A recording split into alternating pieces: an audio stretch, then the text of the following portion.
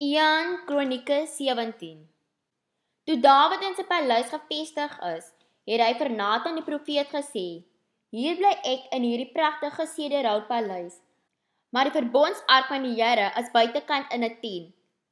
Nathan het geantwoord: Gaan voort met wat u in gedagte het, want God is met u. Daardie selfde nag het God vir Nathan gesê: Gaan sê vir my knegt Dawid, dit is wat die Here sê. Jy is nie die een wat vir my 'n tempel sal bou om in te woon nie. Vanaf die dag dat ek Israel uit Egipte gelei het tot vandag toe, het ek nooit in 'n tempel gewoon nie. My huis is nog altyd 'n tent. Terwyl ek van een plek na die volgende gegaan het, ek het nie een keer teenoor Israel se leiers, my volk se herders, gekla nie. Waar ek ook al gegaan het, ek het hulle ook nooit gevra nie. Waarom het julle nie vir my 'n pragtige sederhout tempel gebou nie? Gaan sê dan vir my knegt Dawid, so sê die Here, die Almagtige. Ek self het jou gekies om my volk Israel te lei toe jy nog maar in die veldskape opgepas het. Ek was met jou waar jy ook al gegaan het en ek het al jou vyande vernietig. Nou gaan ek jou ook nog deur die hele wêreld beroemd maak. En ek het 'n permanente blyplek vir my volk Israel gegee en hulle daar gevestig, 'n veilige plek waar hulle nie langer geplaas sal word nie. Dit sal hulle eie land wees, waar bose nasies hulle nie soos in die verlede kan verdruk nie. Selfs toe ek rigters aangestel het om oor my volk te regeer. Ek sal al jou vyande onderwerp. Ek verklaar nou vir jou dat ek die Here vir jou 'n huis sal bou, 'n koningshuis. Wanneer hy oud geword het en sterf, sal ek een van jou seuns aanstel en ek sal sy koninkryk sterk maak. Hy is die een wat 'n huis, 'n tempel vir my sal bou en ek sal sy troon vir baie lank bevestig. Ek sal vir hom soos 'n pa wees en hy sal vir my soos 'n seun wees.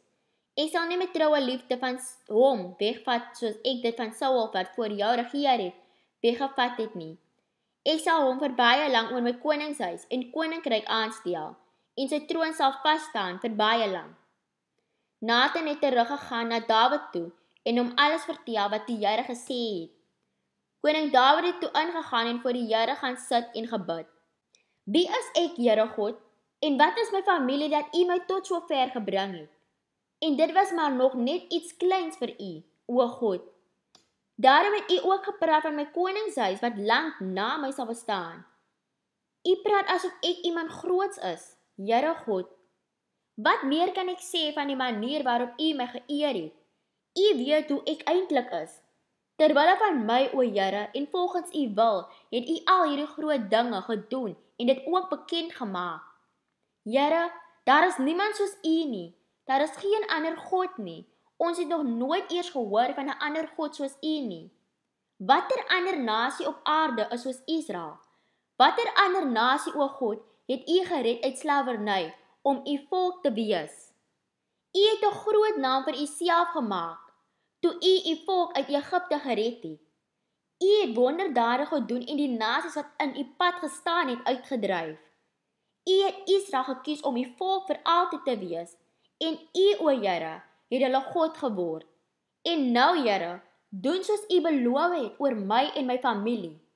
Mag dit 'n belofte wees wat vir altyd geld. En mag u naam altyd gevestig en geëer word sodat die hele wêreld sal sê: Die Here die Almagtige as God oor Israel. En mag die koningshuis van u knegt Dawid in u teenwoordigheid gevestig wees. O my God, ek was dapper genoeg om hierdie gebed tot u te bid, omdat u openbaar het dat u 'n huis vir my sal bou, 'n ewige koningshuis, want u is God, o Here, en u het hierdie goeie dinge oor my, u knegt beloof. Dat dit u behaag om my en my familie te seën sodat ons koningshuis vir altyd voor U sal bestaan. Want wanneer U seën, o Here, is dit 'n ewige seën.